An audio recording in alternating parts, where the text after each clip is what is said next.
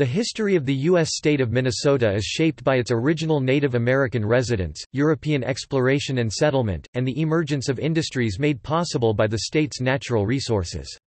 Minnesota achieved prominence through fur trading, logging, and farming, and later through railroads, and iron mining. While those industries remain important, the state's economy is now driven by banking, computers, and health care. The earliest known settlers followed herds of large game to the region during the last glacial period. They preceded the Anishinaabe, the Dakota, and other Native American inhabitants. Fur traders from France arrived during the 17th century. Europeans moving west during the 19th century, drove out most of the Native Americans. Fort Snelling, built to protect United States territorial interests, brought early settlers to the area. Early settlers used St. Anthony Falls for powering sawmills in the area that became Minneapolis, while others settled downriver in the area that became St. Paul. Minnesota gained legal existence as the Minnesota Territory in 1849, and became the 32nd U.S. state on May 11, 1858. After the upheaval of the American Civil War and the Dakota War of 1862, the state's economy started to develop when natural resources were tapped for logging and farming. Railroads attracted immigrants, established the farm economy, and brought goods to market.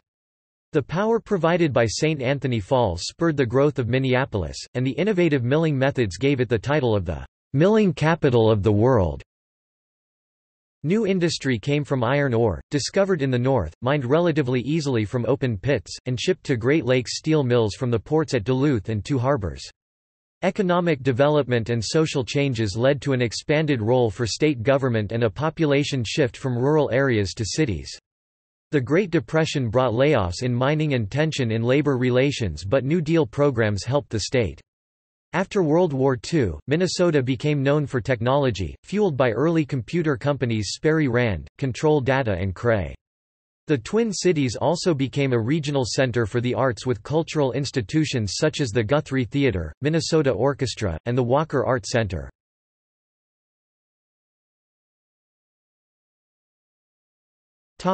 Native American inhabitation The oldest known human remains in Minnesota, dating back about 9,000 years ago, were discovered near Browns Valley in 1933. Browns Valley Man was found with tools of the Clovis and Folsom types. Some of the earliest evidence of a sustained presence in the area comes from a site known as Bradbury Brook near Lacs Lake which was used around 7500 BC. Subsequently, extensive trading networks developed in the region. The body of an early resident known as Minnesota Woman was discovered in 1931 in Otter Tail County. Radiocarbon dating places the age of the bones approximately 8,000 years ago, approximately 7,890 plus or minus 70 BP or near the end of the Eastern Archaic period. She had a conch shell from a snail species known as Busycon perversa, which had previously only been known to exist in Florida. Several hundred years later, the climate of Minnesota warmed significantly. As large animals such as mammoths became extinct, native people changed their diet. They gathered nuts, berries, and vegetables, and they hunted smaller animals such as deer, bison, and birds. The stone tools found from this era became smaller and more specialized to use these new food sources. They also devised new techniques for catching fish, such as fish hooks, nets, and harpoons. Around 5000 BC, people on the shores of Lake Superior in Minnesota and portions of what is now Michigan, Wisconsin, and Canada were the first on the continent to begin making metal tools. Pieces of ore with high concentrations of copper were initially pounded into a rough shape, heated to reduce brittleness, pounded again to refine the shape, and reheated. Edges could be made sharp enough to be useful as knives or spear points. Archaeological evidence of Native American settlements dates back as far as 3000 BC. The Jeffers Petroglyphs site in southwest Minnesota contains carvings thought to date to the late Archaic period, 3000 BC to 1000 BC. Around 700 BC, burial mounds were first created, and the practice continued until the arrival of Europeans, when 10,000 such mounds dotted the state. By AD 800, wild rice became a staple crop in the region, and corn farther to the south. Within a few hundred years, the Mississippian culture reached into the southeast portion of the state, and large villages were formed.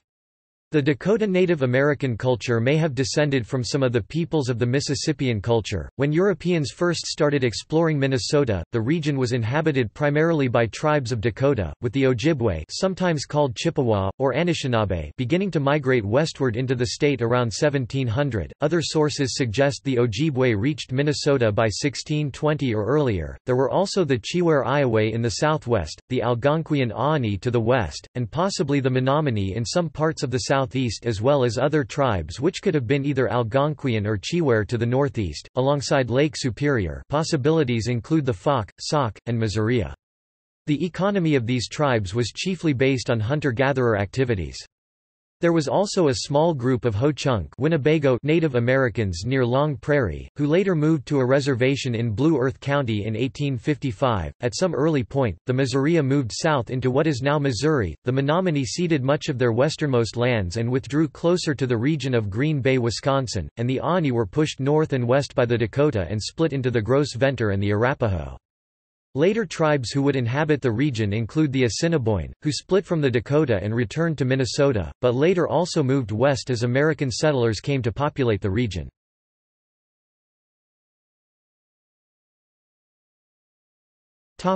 European exploration In the late 1650s, Pierre Esprit Radisson and Medard des Groseilliers were likely the first Europeans to meet Dakota Native Americans while following the southern shore of Lake Superior which would become northern Wisconsin. The North Shore was explored in the 1660s. Among the first to do this was Claude Allouez, a missionary on Madeline Island. He made an early map of the area in 1671. Around this time, the Ojibwe Native Americans reached Minnesota as part of a westward migration. Having come from a region around Maine, they were experienced at dealing with European traders. They dealt in furs and possessed guns. Tensions rose between the Ojibwe and Dakota in the ensuing years. In 1671, France signed a treaty with a number of tribes to allow trade. Shortly thereafter, French trader Daniel Greysolon, Sieur du Lhut arrived in the area and began trading with the local tribes. Du Lhut explored the western area of Lake Superior, near his namesake, the city of Duluth, and areas south of there. He helped to arrange a peace agreement between the Dakota and Ojibwe tribes in 1679. Father Louis Hennepin with companions Michel Accault and Antoine Auguelle aka Picard du Gay headed north from the area of Illinois after coming into that area with an exploration party headed by René Robert Cavelier, Sieur de la Salle. They were captured by a Dakota tribe in 1680. While with the tribe, they came across and named the Falls of St. Anthony. Soon, Du Lhut negotiated to have Hennepin's party released from captivity. Hennepin returned to Europe and wrote a book, Description of Louisiana, published in 1683, about his travels where many portions including the part about St. Anthony Falls were strongly embellished. As an example, he described the falls as being a drop of 50 or 60 feet, when they were really only about 16 feet. Pierre-Charles Le Sueur explored the Minnesota River to the Blue Earth area around 1700. He thought the Blue Earth was a source of copper, and he told stories about the possibility of mineral wealth, but there actually was no copper to be found. Explorers searching for the fabled Northwest Passage and large inland seas in North America continued to pass through the state. In 1721, the French built Fort Beauharnois on Lake Pepin. In 1731, the Grand Portage Trail was first traversed by a European, Pierre La Vérendrye. He used a map written down on a piece of birch bark by Ochagach, an Assiniboine guide. The North West Company, which traded in fur and competed with the Hudson's Bay Company, was established along the Grand Portage in 1783–1784. Jonathan Carver, a shoemaker from Massachusetts, visited the area in 1767 as part of another expedition. He and the rest of the exploration party were only able to stay for a relatively short period, due to supply shortages. They headed back east to Fort Michilimackinac, where Carver wrote journals about the trip, though others would later claim the stories were largely plagiarized from others. The stories were published in 1778, but Carver died before the book earned him much money. Carver County and Carver's Cave are named for him. Until 1818, the Red River Valley was considered British and was subject to several colonization schemes, such as the Red River Colony. The boundary where the Red River crossed the 49th parallel was not marked until 1823, when Stephen H. Long conducted a survey expedition. When several hundred settlers abandoned the Red River Colony in the 1820s, they entered the United States by way of the Red River Valley, instead of moving to eastern Canada or returning to Europe. The region had been occupied by Métis people, the children of voyageurs and Native Americans. Since the middle 17th century, several efforts were made to determine the source of the Mississippi River. The true source was found in 1832, when Henry Schoolcraft was guided by a group of Ojibwe headed by Ozawindib Yellow Head, to a lake in northern Minnesota. Schoolcraft named it Lake Itasca, combining the Latin words veritas truth, and caput head. The native name for the lake was Omashkoos, meaning elk. Other explorers of the area include Zebulon Pike in 1806, Major Stephen Long in 1817, George William Fenshaw in 1835, and John Pope military officer in 1849. Fenshaw conducted a geological survey of the Minnesota River Valley and wrote an account entitled A Canoe Voyage up the Minnesota. Joseph Nicollet scouted the area in the late 1830s, exploring and mapping the upper Mississippi River Basin, the St. Croix River, and the land between the Mississippi and Missouri rivers. He and John C. Fremont left their mark in the southwest of the state, carving their names in the Pipestone quarries near Winnewissa Falls, an area now part of Pipestone National Monument in Pipestone County. Henry Wadsworth Longfellow never explored the state, but he did help to make it popular. He published the Song of Hiawatha in 1855, which contains references to many regions in Minnesota. The story was based on Ojibwe legends carried back east by other explorers and traders, particularly those collected by Henry Rowe Schoolcraft.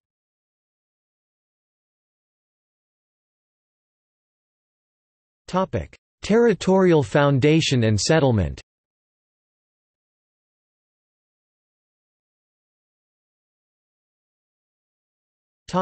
Land acquisition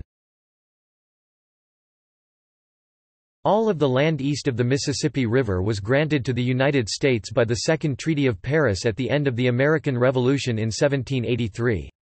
This included what would become modern-day St. Paul but only part of Minneapolis, including the northeast, north-central and east-central portions of the state. The western portion of the state was part of the Spanish Louisiana since the Treaty of Fontainebleau, in 1762. The wording of the treaty in the Minnesota area depended on landmarks reported by fur traders, who erroneously reported an Isle Phelipeaux in Lake Superior, a long lake west of the island, and the belief that the Mississippi River ran well into modern Canada. Most of the state was purchased in 1803 from France as part of the Louisiana Purchase. Parts of northern Minnesota were considered to be in Rupert's Land.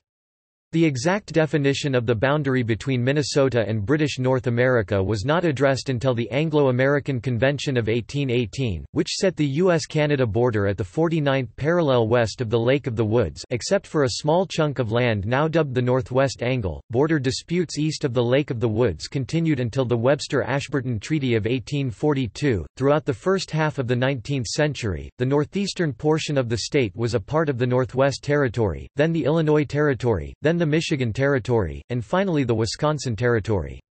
The western and southern areas of the state, although theoretically part of the Wisconsin Territory from its creation in 1836, were not formally organized until 1838, when they became part of the Iowa Territory.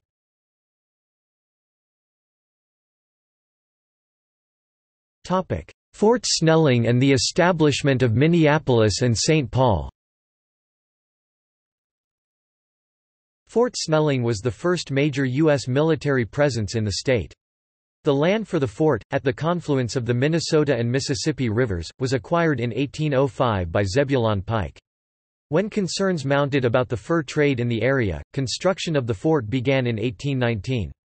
Construction was completed in 1825, and Colonel Josiah Snelling and his officers and soldiers left their imprint on the area. One of the missions of the fort was to mediate disputes between the Ojibwe and the Dakota tribes. Lawrence Taliaferro was an agent of the U.S. Bureau of Indian Affairs. He spent 20 years at the site, finally resigning in 1839. In the 1850s, Fort Snelling played a key role in the infamous Dred Scott court case. Slaves Dred Scott and his wife were taken to the fort by their master, John Emerson. They lived at the fort and elsewhere in territories where slavery was prohibited. After Emerson's death, the Scots argued that since they had lived in free territory, they were no longer slaves. Ultimately, the U.S. Supreme Court sided against the Scots. Dred Scott Field, located just a short distance away in Bloomington, is named in the memory of Fort Snelling's significance in one of the most important legal precedents in U.S. history. By 1851, treaties between Native American tribes and the U.S. government had opened much of Minnesota to settlement, so Fort Snelling no longer was a frontier outpost. It served as a training center for soldiers during the American Civil War and later as the headquarters for the Department of Dakota. A portion has been designated as Fort Snelling National Cemetery where over 160,000 are interred. During World War II, the fort served as a training center for nearly 300,000 inductees. After World War II, the fort was threatened with demolition due to the building of freeways Highway 5 and Highway 55, but citizens rallied to save it. Fort Snelling is now a historic site operated by the Minnesota Historical Society. Fort Snelling was largely responsible for the establishment of the city of Minneapolis. In an effort to be self-sufficient, the soldiers of the fort built roads, planted crops, and built a grist mill and a sawmill at St. Anthony Falls.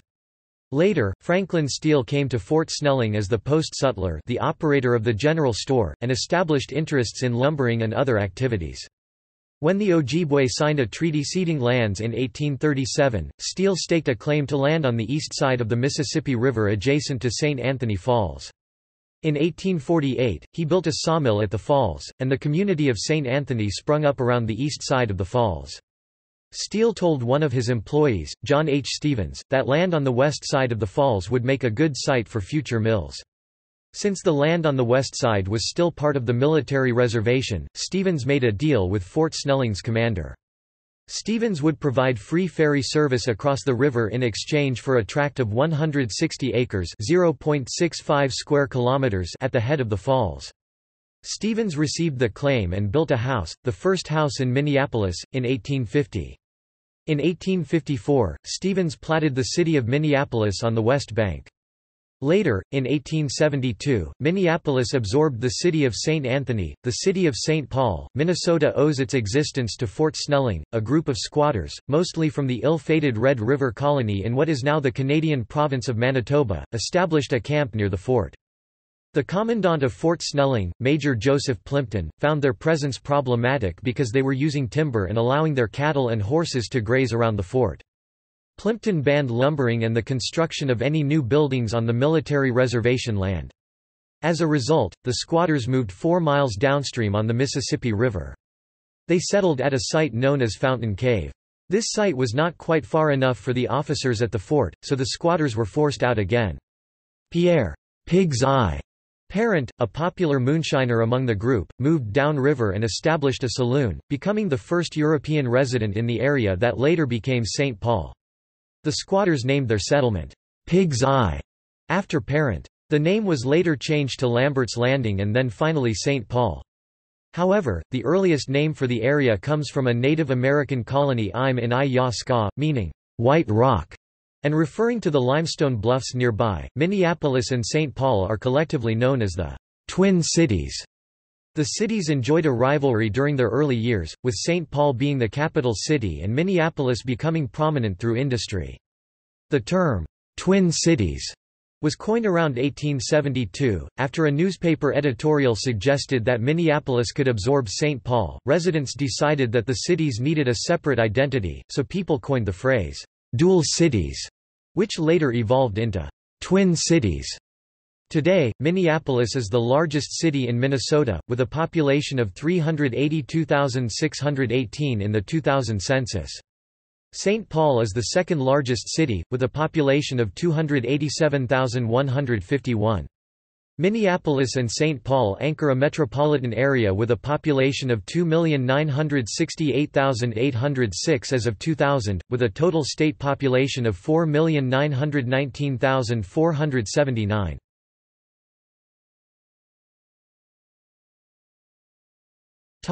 Early European settlement and development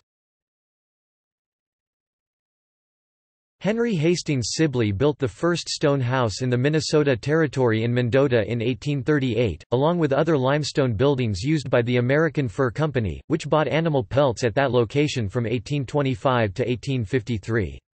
Another area of early economic development in Minnesota was the logging industry. Loggers found the white pine especially valuable, and it was plentiful in the northeastern section of the state and in the St. Croix River Valley. Before railroads, lumbermen relied mostly on river transportation to bring logs to market, which made Minnesota's timber resources attractive. Towns like Pine City, Marine on St. Croix and Stillwater became important lumber centers fed by the St. Croix River, while Winona was supplied lumber by areas in southern Minnesota and along the Minnesota River.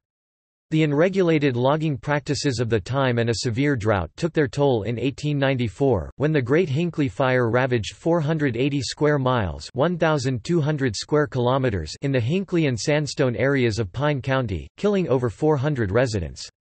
The combination of logging and drought struck again in the Baudette Fire of 1910 and the Cloquet Fire of 1918. St. Anthony, on the east bank of the Mississippi River later became part of Minneapolis, and was an important lumber milling center supplied by the Rum River. In 1848, businessman Franklin Steele built the first private sawmill on the St. Anthony Falls, and more sawmills quickly followed.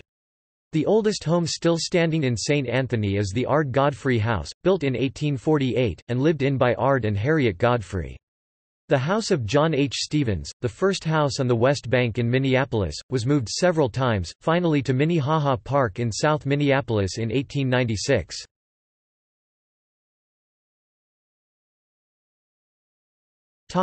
Minnesota Territory Stephen A. Douglas D., the chair of the Senate Committee on Territories, drafted the bill authorizing Minnesota Territory. He had envisioned a future for the upper Mississippi Valley, so he was motivated to keep the area from being carved up by neighboring territories. In 1846, he prevented Iowa from including Fort Snelling and St. Anthony Falls within its northern border. In 1847, he kept the organizers of Wisconsin from including St. Paul and St. Anthony Falls. The Minnesota Territory was established from the lands remaining from Iowa Territory and Wisconsin Territory on March 3, 1849. The Minnesota Territory extended far into what is now North Dakota and South Dakota, to the Missouri River. There was a dispute over the shape of the state to be carved out of Minnesota Territory. An alternate proposal that was only narrowly defeated would have made the 46th parallel the state's northern border and the Missouri River its western border, thus giving up the whole northern half of the state in exchange for the eastern half of what later became South Dakota, with Alexander Ramsey w as the first governor of Minnesota Territory and Henry Hastings Sibley d as the territorial delegate to the United States Congress. The populations of St. Paul and St. Anthony swelled.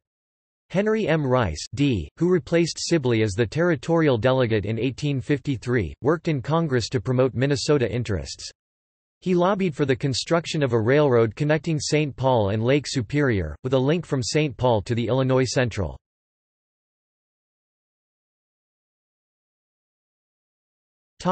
Statehood In December 1856, Henry M. Rice brought forward two bills in Congress, an enabling act that would allow Minnesota to form a state constitution, and a railroad land grant bill. Rice's enabling act defined a state containing both prairie and forest lands. The state was bounded on the south by Iowa, on the east by Wisconsin, on the north by Canada, and on the west by the Red River of the North and the Bois de Sioux River, Lake Traverse, Big Stone Lake, and then a line extending due south to the Iowa border. Rice made this motion based on Minnesota's population growth. At the time, tensions between the northern and the southern United States were growing, in a series of conflicts that eventually resulted in the American Civil War. There was little debate in the United States House of Representatives, but when Stephen A. Douglas introduced the bill in the United States Senate, it caused a firestorm of debate. Northerners saw their chance to add two senators to the side of the Free States, while Southerners were sure that they would lose power. Many senators offered polite arguments that the population was too sparse and that statehood was premature. Senator John Burton Thompson of Kentucky, in particular, argued that new states would cost the government too much for roads, canals, forts, and lighthouses. Although Thompson and 21 other senators voted against statehood, the Enabling Act was passed on February 26, 1857. After the Enabling Act was passed, territorial legislators had a difficult time writing a state constitution. A constitutional convention was assembled in July 1857, but Republicans and Democrats were deeply divided. In fact, they formed two separate constitutional conventions and drafted two separate constitutions. Eventually, the two groups formed a conference committee and worked out a common constitution.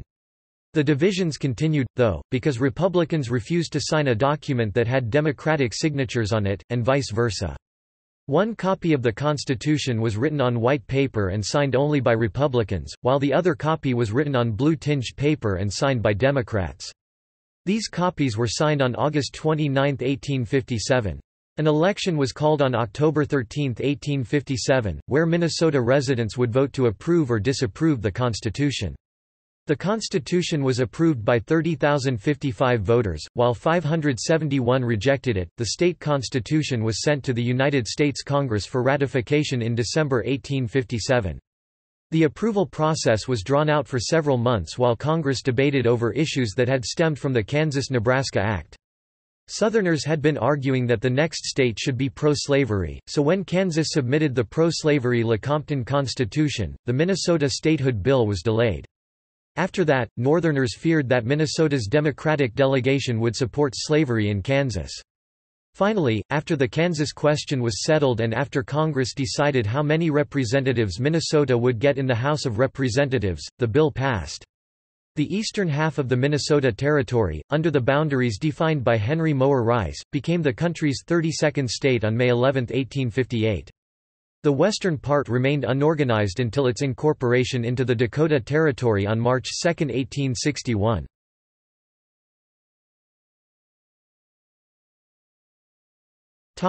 Civil War era and Dakota War of 1862 Minnesota strongly supported the Union war effort, with about 22,000 Minnesotans serving. The 1st Minnesota Volunteer Infantry was particularly important to the Battle of Gettysburg. Governor Alexander Ramsey happened to be in Washington, D.C. when Feat. Sumter was fired upon. He went immediately to the White House and made his state the first to offer help in putting down the rebellion. At the same time, the state faced another crisis as the Dakota War of 1862 broke out. The Dakota had signed the Treaty of Traverse des Sioux and Treaty of Mendota in 1851 because they were concerned that without money from the United States government, they would starve, due to the loss of habitat of huntable game. They were initially given a strip of land of 10 miles 16 kilometers north and south of the Minnesota River, but they were later forced to sell the northern half of the land. In 1862, crop failures left the Dakota with food shortages, and government money was delayed. After four young Dakota men, searching for food, shot a family of white settlers near Acton, the Dakota leadership decided to continue the attacks in an effort to drive out the settlers.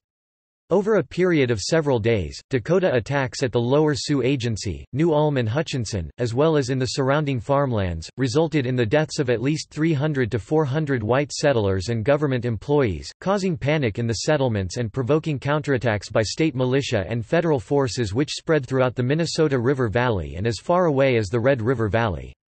The ensuing battles at Fort Ridgely, Birch Coulee, Fort Abercrombie, and Wood Lake punctuated a six-week war, which ended with the trial of 425 Native Americans for their participation in the war.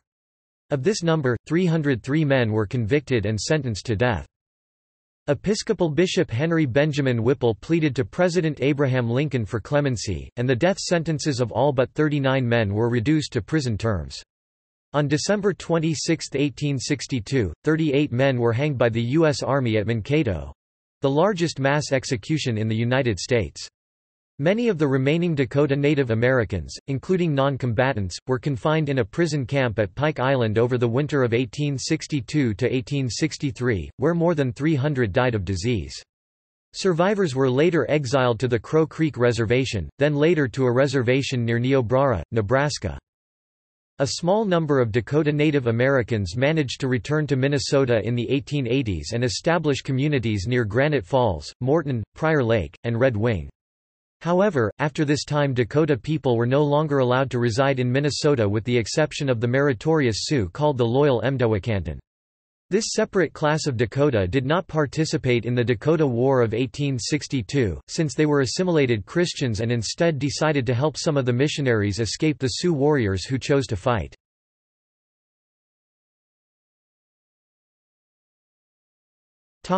Economic and social development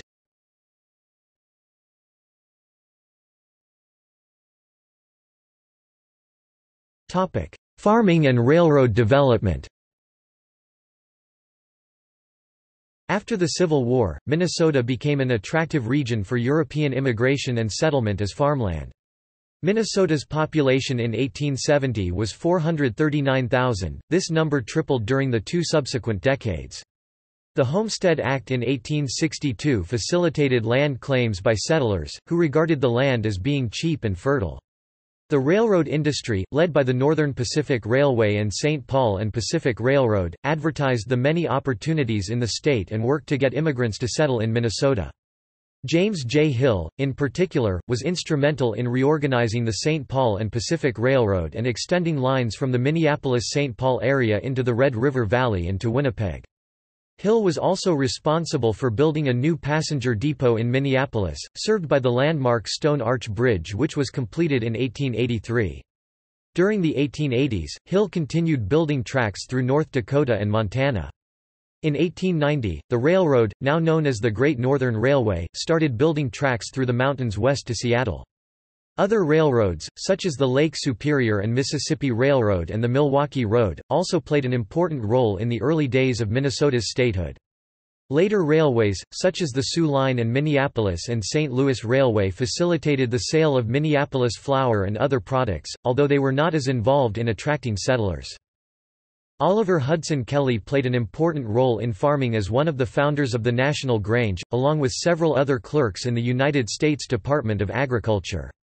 The movement grew out of his interest in cooperative farm associations following the end of the Civil War, and he established local Grange chapters in Elk River and St. Paul. The organization worked to provide education on new farming methods, as well as to influence government and public opinion on matters important to farmers. One of these areas of concern was the freight rates charged by the railroads and by the grain elevators. Since there was little or no competition between railroads serving Minnesota farm communities, railroads could charge as much as the traffic would bear. By 1871, the situation was so heated that both the Republican and Democratic candidates in state elections promised to regulate railroad rates.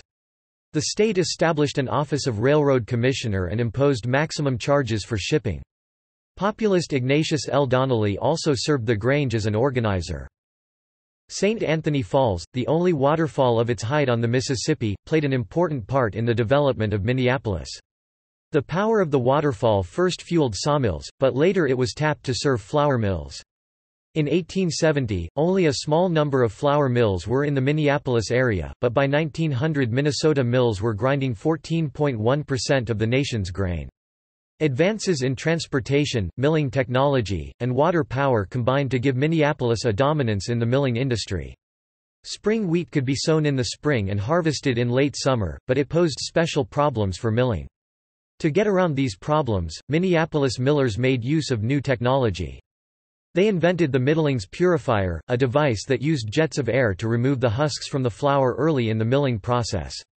They also started using roller mills, as opposed to grindstones. A series of rollers gradually broke down the kernels and integrated the gluten with the starch. These improvements led to the production of patent flour, which commanded almost double the price of baker's or clear flour, which it replaced. Pillsbury and the Washburn Crosby Company a forerunner of General Mills became the leaders in the Minneapolis milling industry. This leadership in milling later declined as milling was no longer dependent on water power, but the dominance of the mills contributed greatly to the economy of Minneapolis and Minnesota, attracting people and money to the region.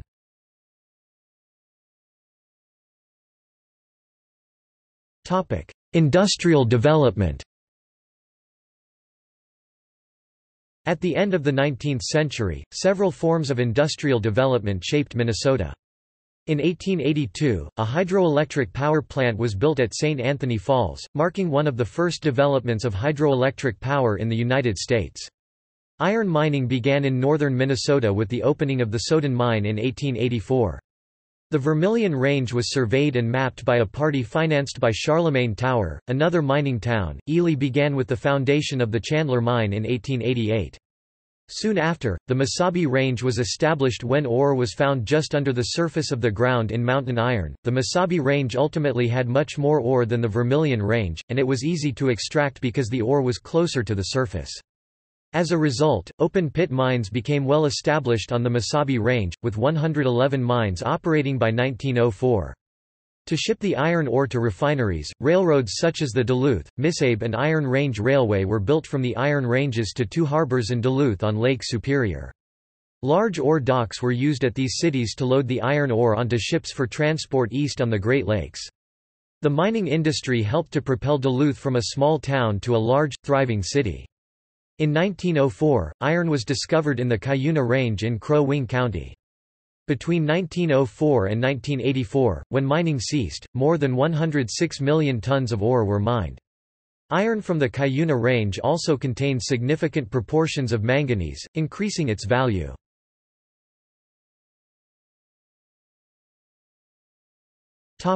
Mayo Clinic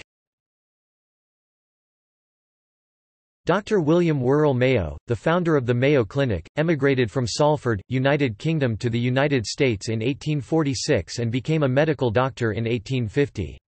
In 1863, Mayo moved to Rochester, followed by his family the next year. In the summer of 1883, an F5 tornado struck, dubbed the 1883 Rochester Tornado, causing a substantial number of deaths and injuries.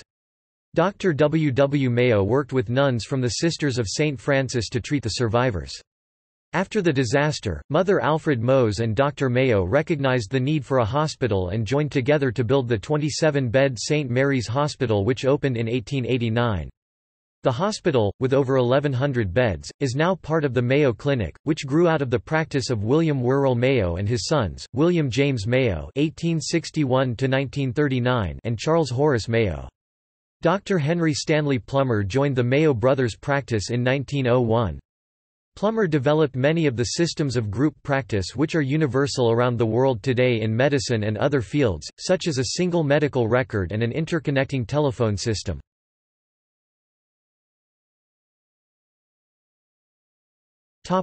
Urbanization and government As a result of industrialization, the population became more concentrated into urban areas. By 1900, the Twin Cities were becoming a center of commerce, led by the Minneapolis Grain Exchange and the foundation of the Federal Reserve Bank with its ninth district in Minneapolis. Many of the businessmen who had made money in the railroad, flour milling, and logging industries lived in the Twin Cities and personified the Gilded Age.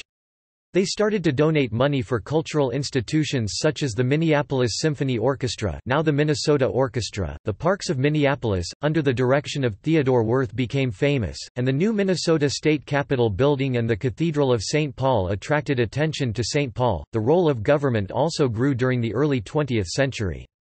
In the rural areas, most people obtained food and manufactured goods from neighbors and other people they knew personally. As industry and commerce grew, goods such as food, materials, and medicines were no longer made by neighbors, but by large companies. In response, citizens called on their government for consumer protection, inspection of goods, and regulation of public utilities. The growth of the automobile spurred calls to develop roads and to enforce traffic laws. The state officially started its trunk highway system in 1920, with the passage of the Babcock Amendment that established 70 constitutional routes around the state. New regulation was necessary for banking and insurance. The safety of industrial workers and miners became an increasing concern, and brought about the workers' compensation system. Since government was getting more complex, citizens demanded more of a role in their government, and became more politically active.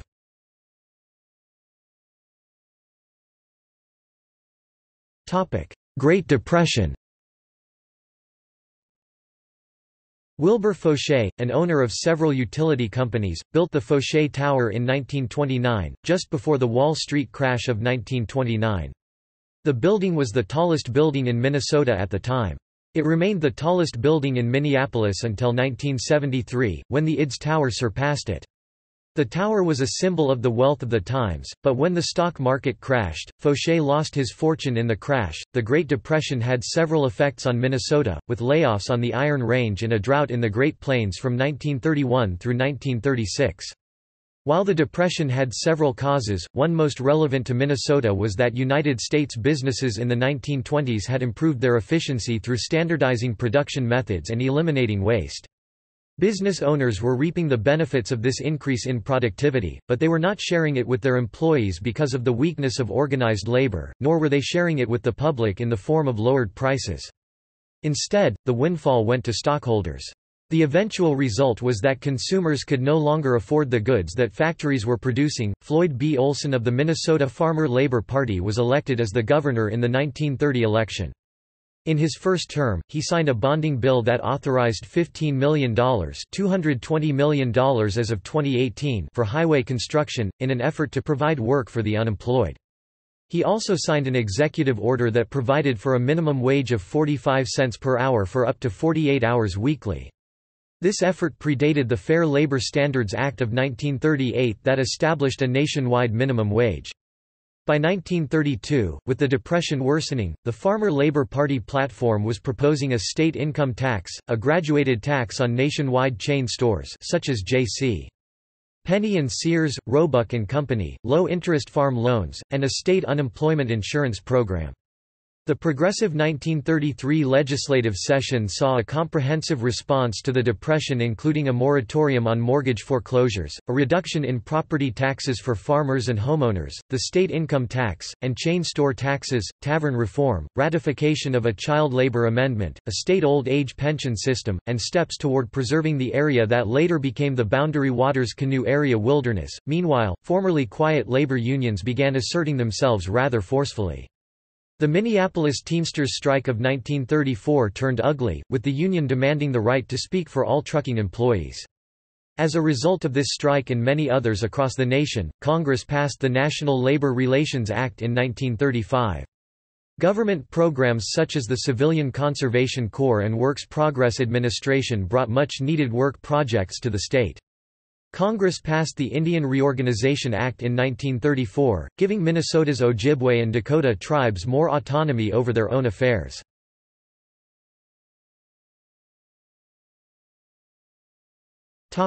Modern Minnesota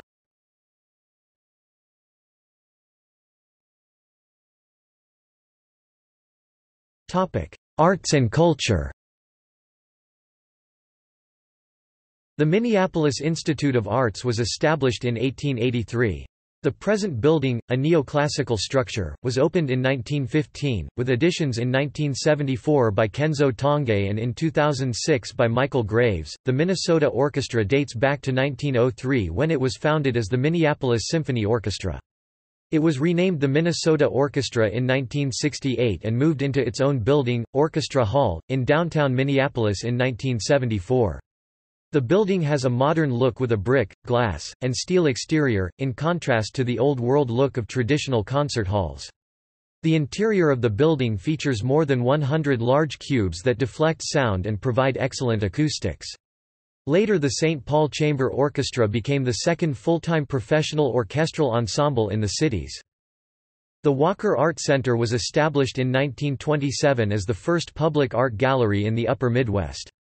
In the 1940s, the museum shifted its focus toward modern art, after a gift from Mrs. Gilbert Walker made it possible to acquire works by Pablo Picasso, Henry Moore, Alberto Giacometti, and others. The museum continued its focus on modern art with traveling shows in the 1960s. The Guthrie Theatre, opened in 1963, was the brainchild of Sir Tyrone Guthrie, who wanted to found a regional theatre without the commercial constraints of Broadway. The high cost of staging Broadway productions meant that shows had to be immediately successful and return a high amount of revenue. This discouraged innovation and experimentation, and made it difficult to stage important works of literature.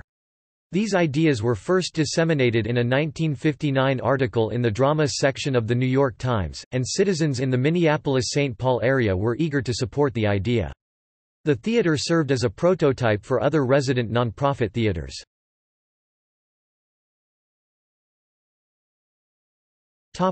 Minnesota in World War II Like other U.S. states, Minnesota made its contributions to the effort of World War II in wartime manufacturing and other areas. The United States Navy contracted with Cargill to build ships after seeing their success in building ships and barges used to haul grain. Cargill built facilities in Savage, Minnesota on the south bank of the Minnesota River and turned out 18 refueling ships and four towboats in four years. After the war, the Cargill facilities became a major grain shipping terminal. Honeywell built airplane control systems and periscope sights for submarines, and also developed a proximity fuse for anti-aircraft shells. The United States government built the Twin Cities Ordnance Plant to produce munitions. The plant employed 8,500 workers in 1941, and since there was a shortage of male workers during the war, more than half of the workers at the munitions plant were women. The plant also employed nearly 1,000 African American workers, as President Roosevelt had issued an executive order forbidding racial discrimination in defense industries.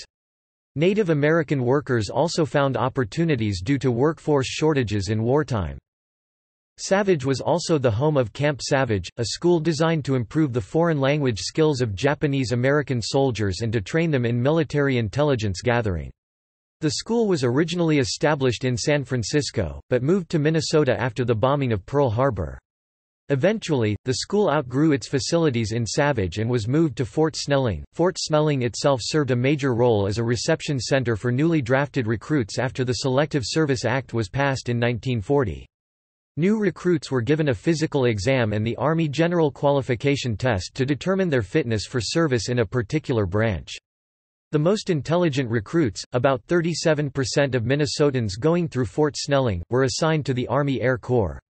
Recruits were also issued uniforms and sent from the fort to other training centers. Over 300,000 recruits were processed through Fort Snelling during the World War II years.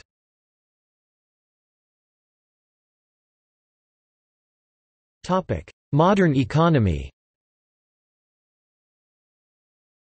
Agriculture evolved from an individual occupation into a major industry after World War II. Technological developments increased productivity on farms, such as automation of feedlots for hogs and cattle, machine milking at dairy farms, and raising chickens in large buildings. Planting also became more specialized with hybridization of corn and wheat, fertilization, and mechanical equipment such as tractors and combines became the norm. University of Minnesota professor Norman Borlaug contributed to this knowledge as part of the Green Revolution. Large canneries such as the Minnesota Valley Canning Company fed the country from Minnesota's productive farmland. The Minnesota Mining and Manufacturing Company 3M was founded in 1902 in Two Harbors, Minnesota, and was later moved to Duluth, St. Paul, and then Maplewood.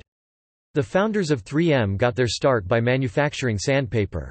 Under the leadership of William L. McKnight, the company established product lines such as abrasives for wet sanding, masking tape and other adhesives, roofing granules, resins, and films. Suburban development intensified after the war, fueled by the demand for new housing. In 1957, the legislature created a planning commission for the Twin Cities metropolitan area.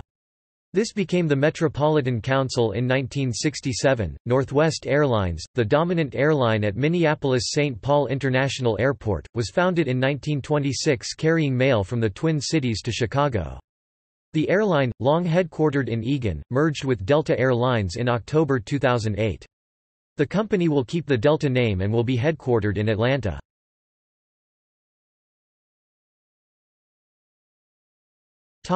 The digital state More than any other Midwestern state, Minnesota attracted engineers, especially in the computer industry, and became a center of technology after the war. Engineering Research Associates was formed in 1946 to develop computers for the intelligence community. It soon merged with Remington Rand, and later became Sperry Rand. William Norris left Sperry in 1957 to form Control Data Corporation CDC. Cray Research was formed when Seymour Cray left CDC to form his own company. Medical device maker Medtronic also was founded in the Twin Cities in 1949.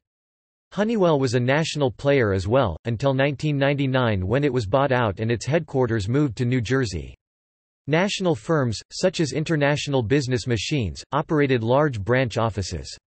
IBM also operated a substantial manufacturing and development site in Rochester starting in 1956.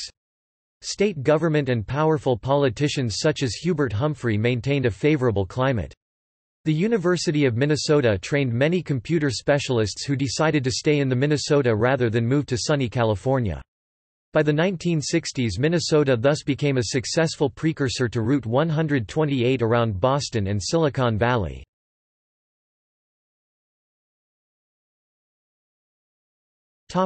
Post-war politics Historian Annette Atkins has explored the changing long-term pattern of Minnesota politics. In the late 19th and early 20th century, the heavily rural state was hostile to business and railroads, with the Republicans dominant in the small towns, and the Democrats on the farms. Numerous left-wing groups and third parties emerged, such as the Anti-Monopolist Party in the 1870s, the Populists in the 1890s, the Nonpartisan League in the 1910s, and the Farmer Labor Party in the 1930s. Isolationism was strong, Atkins argues, because of the fear that Eastern bankers and industrialists forced the United States into World War I to enlarge their profits. Business fought unions, and the unions fought back, and with the governor on their side unions won some violent battles in the 1930s. In recent decades, however, the Liberal coalition has weakened. Labor unions are a shadow of their old strength. Most farmers have left for the towns and especially the Twin Cities, where more than half of the people live. The new right has mobilized social conservatives, especially those from traditional religious backgrounds, with abortion a furiously contested issue. State government has become much more friendly toward growth and the needs of business entrepreneurship. Environmentalism has split left and right, with the industrial workers in the Up North and Iron Range districts demanding that their jobs be protected from environmentalists.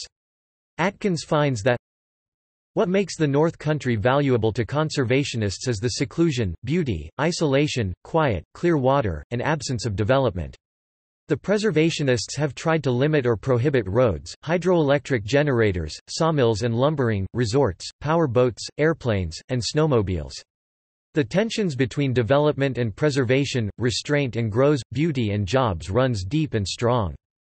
Hubert Humphrey was a Minnesotan who became a nationally prominent politician. He first ran for mayor of Minneapolis in 1943, but lost the election to the Republican candidate by just a few thousand votes. As a Democrat, Humphrey recognized that his best chance for political success was to obtain the support of the Minnesota Farmer Labor Party. Other members of the Farmer Labor Party had been considering the idea, as encouraged by Franklin D. Roosevelt, but the merger only became reality after Humphrey traveled to Washington, D.C. to discuss the issue. Rather than simply absorbing the Farmer Labor Party, with its constituency of 200,000 voters, Humphrey suggested calling the party the Minnesota Democratic Farmer Labor Party. He was elected mayor of Minneapolis in 1945, and one of his first actions was to propose an ordinance making racial discrimination by employers subject to a fine. This ordinance was adopted in 1947, and although few fines were issued, the city's banks and department stores realized that public relations would improve by hiring blacks in increasing numbers. Humphrey delivered an impassioned speech at the 1948 Democratic National Convention encouraging the party to adopt a civil rights plank in their platform.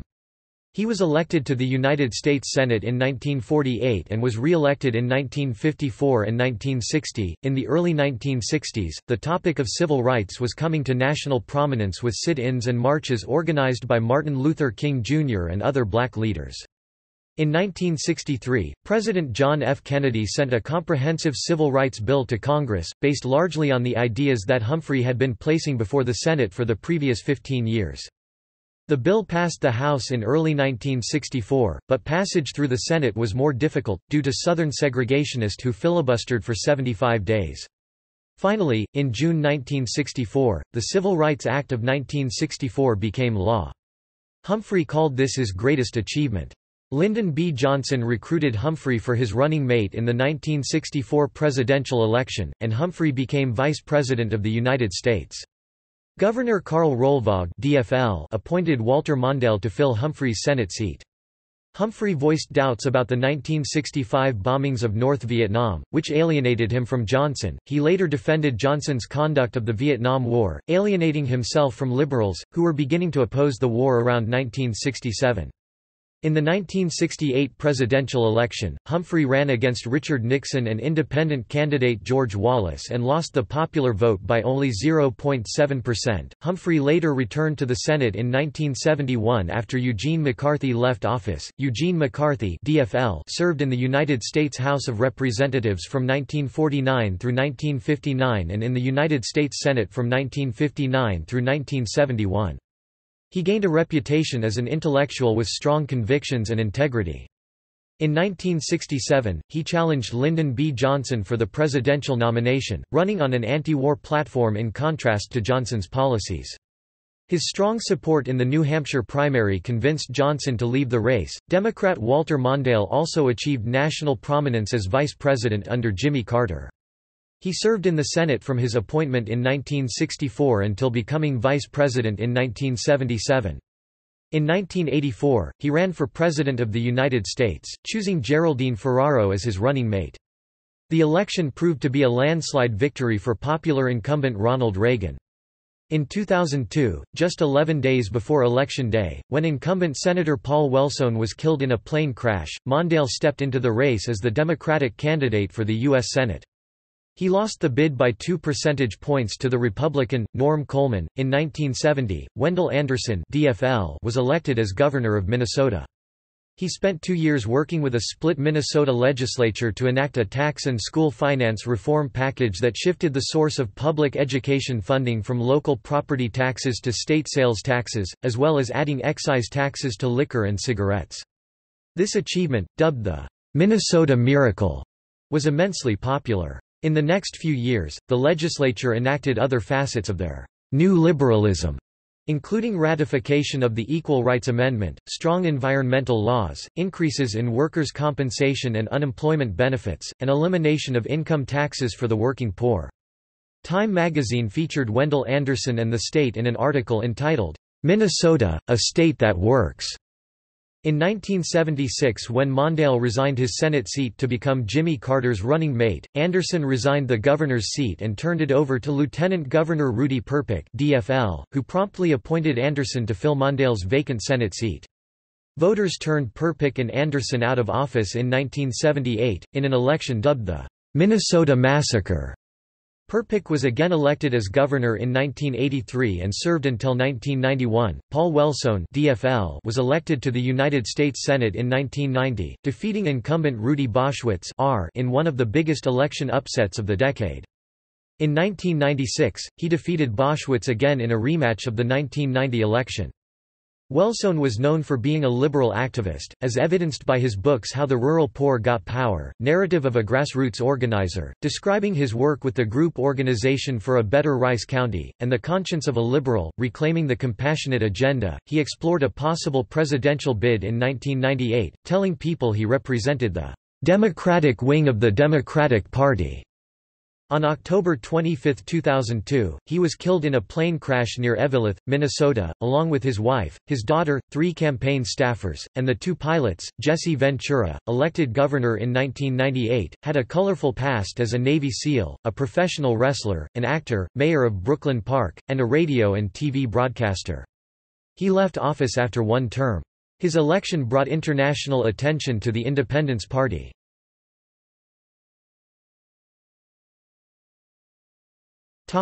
See also. French language in Minnesota. Demographics of Minnesota. Geology of Minnesota.